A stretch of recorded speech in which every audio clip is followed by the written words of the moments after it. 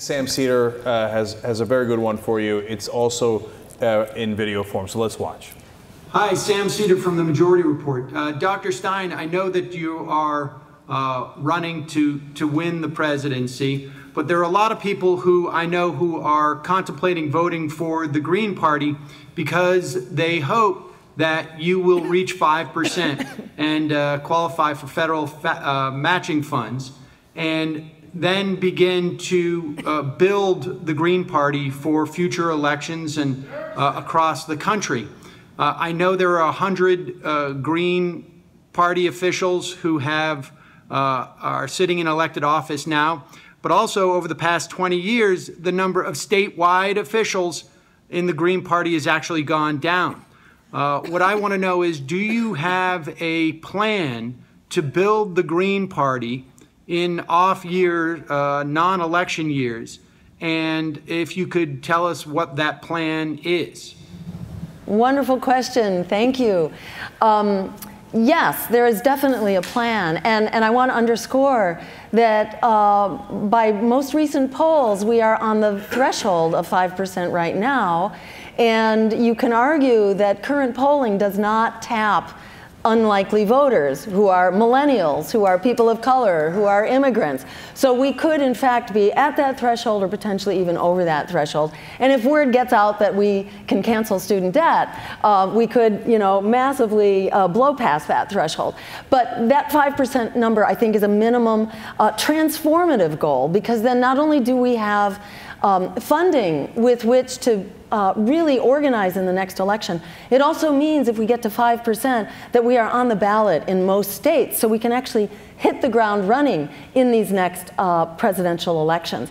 But the point he makes about organizing right now for the long haul is exactly uh, you know, front and center. And it's one of the major reasons that I am running right now in order to lift up this agenda, which is not just a global agenda, it's not just a national agenda. This is a local agenda as well about what our jobs are like, about whether our water supplies are going to be ruined by fracking, about whether we are supporting public higher education and moving to free public higher education, which is what we should have.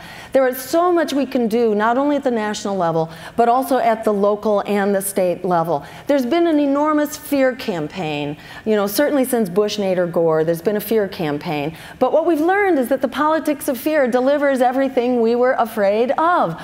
All the reasons we were told you had to vote for the lesser evil, because you didn't want the expanding wars, you didn't want the meltdown of the climate, you didn't want the war on immigrants, immigrants. You didn't want the endless expansion of the prison industrial state and the security state. That's exactly what we've gotten by allowing our voices to be silenced and to allow the lesser evil to speak for us. In many ways, the lesser evil paves the way to the greater evil because people stop coming out to vote for lesser evil politicians and parties that are throwing them under the bus, even if someone else could do it worse. People just stop participating in their democracy when it's so clear that it's not for us. So, you know, in my opinion, this is about standing up for what we need right now. For others who can't quite, you know, buy that, you know, I'd say make the most progressive vote you can and at least register green, contribute green, and then fight very hard for ranked choice voting as your very first action so that this politics of fear is something we can put behind us and actually begin bringing our moral compass to our democracy. Democracy is not a question of who do we hate the most and who do we fear the most? It's got to be about what is the future that we define for ourselves. So this election is about raising up those local candidates, and I urge you, go to your state Green Party website and find out who's running in your town and support their campaign as well. There are hundreds of candidates for office. Uh, our time has come. I mean, we the people, we deserve a political party that is of, by, and for us. Independent third parties have always led the way, whether it's been uh, in abolition. Remember that the parties of abolition were called spoilers back then. Uh, during the effort to abolish slavery, we were called spoilers. The labor movement uh, was led by third parties, the women's movement. Um, throughout our history, transformational change has been led by independent third parties. And in the case of Abraham Lincoln, an independent third party candidate actually rose to power, and that third party became a first party in the course of that election. So our future is there for us to take back in our own hands. Stand up now, like our lives depend on it. Together, we are unstoppable. Thank you all for being a part of this. We need independent media to make sure that we hold corporate media accountable.